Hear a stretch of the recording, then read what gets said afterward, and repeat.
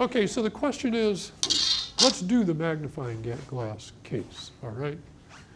Um, magnifying glasses are more important than just magnifying glasses because it turns out that the eyepiece of lots and lots of optical instruments turns out to be a magnifying glass, really. Okay?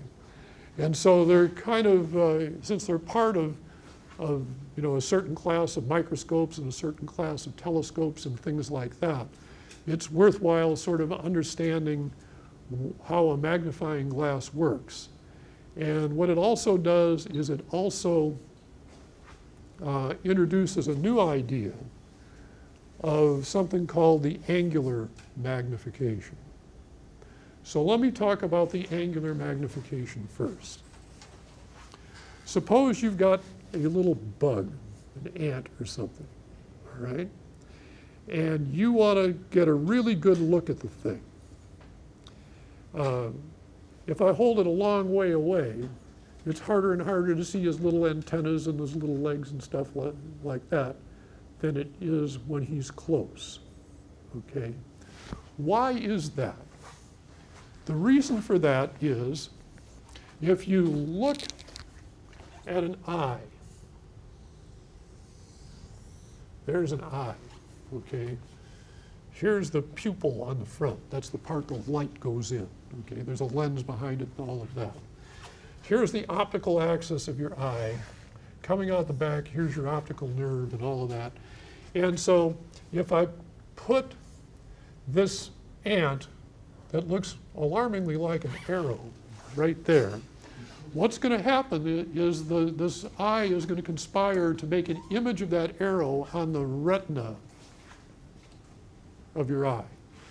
When the retina of your eye, there are all kinds of little light detectors called rods and cones that do chemical stuff and tell your brain that light is hitting it or not. So if I put this guy here, and I image where the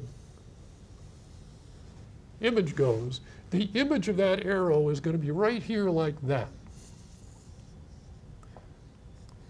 And my ability to resolve details on that is going to depend upon how many rods and cones the thing hits. Obviously, if that image is so small that it only lights up one rod, okay, the thing is going to look like an is going to look like a featureless pinpoint of light to me. Okay?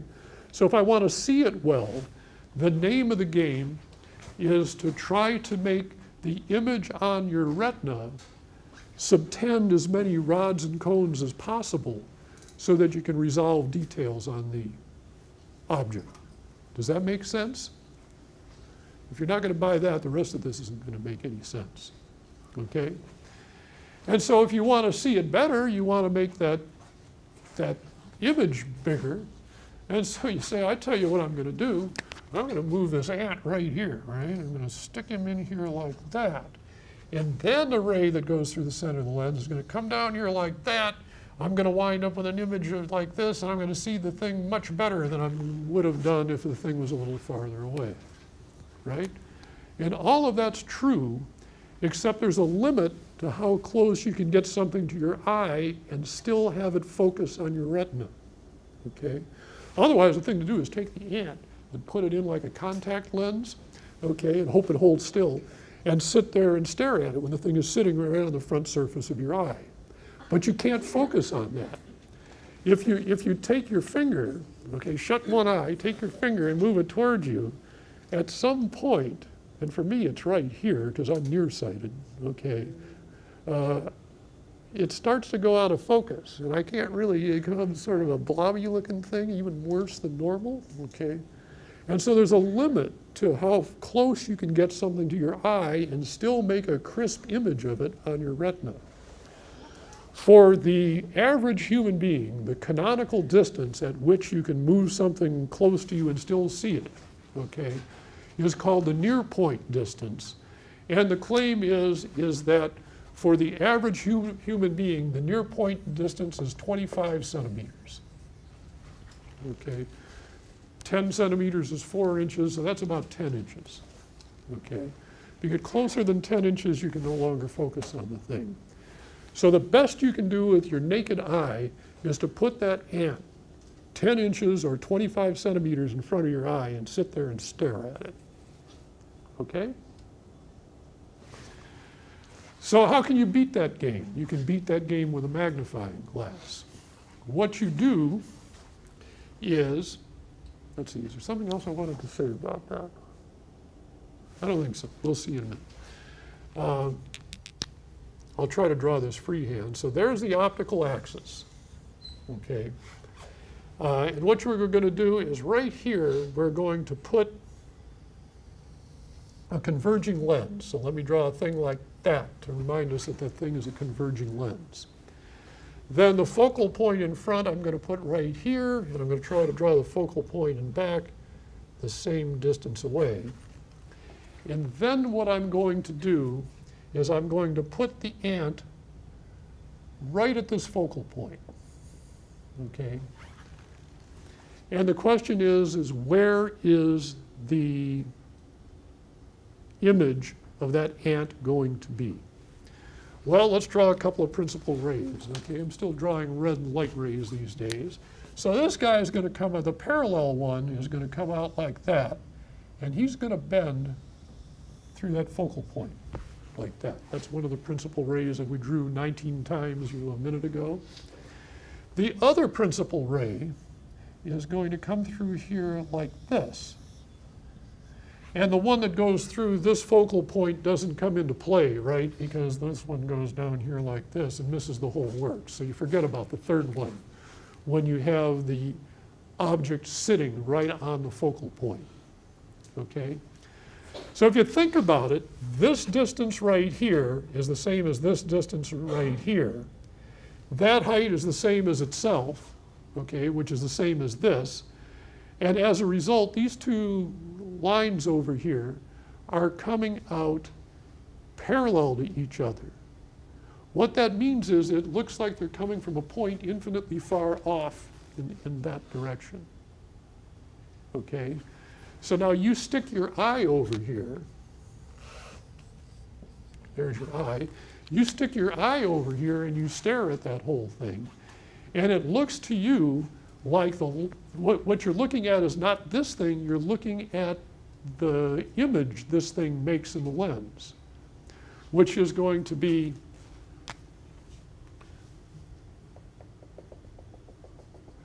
over here, only infinitely big and infinitely far away. Okay, so it's going to be a virtual image, very big and very far away. Okay, but you see what you've done is instead of having the light rays enter, so here's your eye, okay? Here's the optical axis. Here's the ant sitting there 25 centimeters away. So I'm in centimeters, I won't write centimeters, it's just 25 centimeters away. And so the thing that determines the number of rods and cones that you get over here is how big this angle is, right? If that angle's big, you hit lots of them. If that angle's small, you don't hit so many. And so this angle right here, which I'm going to call alpha, is going to turn, for the unaided eye, when you have the thing you're looking at at your near point, which is by definition is 25 centimeters away, that's what it is for the average person. It's like saying everybody is five foot eight inches tall, right? Because the average height of people is five, I don't know if that's true or not, I'm making up the number, is five foot eight, right? So it's a lie, right? But it's a nice lie.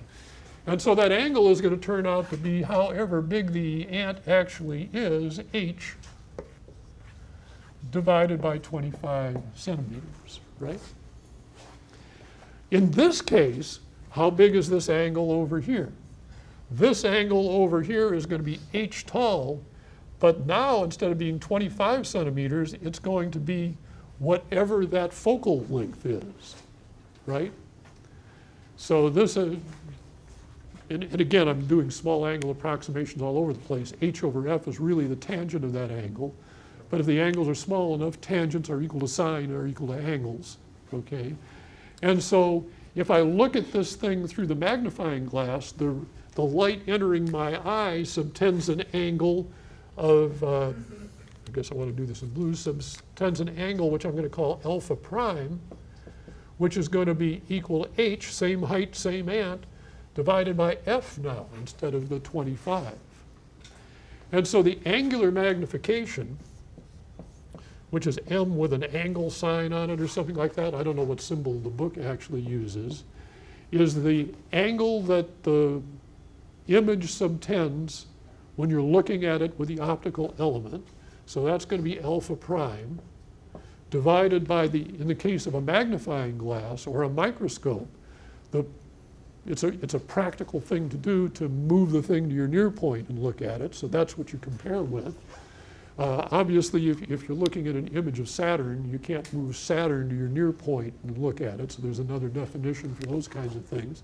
But for the magnifying glass, then what you put there is you put in this angle alpha, and that's going to equal to h over f divided by h over 25, and so that's equal to 25 over f. And so if you were to make a focal length of five centimeter lens here for your magnifying glass, five centimeters is just about two inches. That's right. Uh, it would turn out that f would be five and the angular magnification would then be five because 25 divided by five is five. And so you can see that ant five times as well through the magnifying glass as you can with your naked eye doing the best job you possibly can with your naked eye, which is putting it at your 25 centimeter near point. Okay, that's how magnifying glasses work. The, it, it turns out that your eye has less strain on it looking at distant objects than it does looking at stuff right at your near point. Okay, so the most comfortable place to put an image to look at it is infinitely far away, very distant from you, because your eye is most relaxed looking at very distant things. And so that's why I put this thing at F and made the focal point. If the object is to really maximize the angular magnification, you don't do that. Okay? In fact, the thing to think about here is, you, do you know what a jeweler's loupe is? There, it, it, it's sort of a, a lens in a plastic housing or something, and you stick the thing in your eye socket so that the lens is, you know, right in front of your eye, okay? And so the way, those are just magnifying glasses, but they're used differently than that. What you do with those things is, turn this guy on, uh, light bulb me. Okay, what you do is this. So here's the, where the lens is, okay?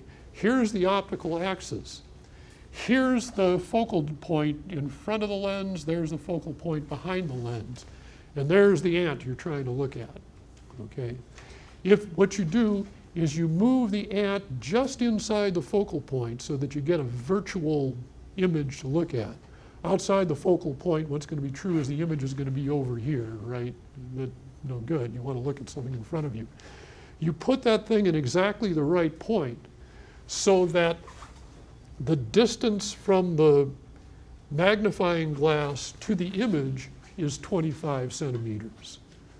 So if you put your eye right here, right behind this thing, like you do with a jeweler's loupe, okay, you can look at this image at your near point. Okay, that's going to cause more eye strain.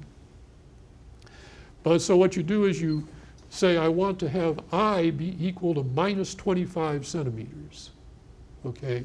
And you take the focal length of your lens right here, of, of your magnifying glass, and you, uh, oh, I didn't put the arithmetic on here. Okay, so you, you put that thing right here. Where did I put that arithmetic?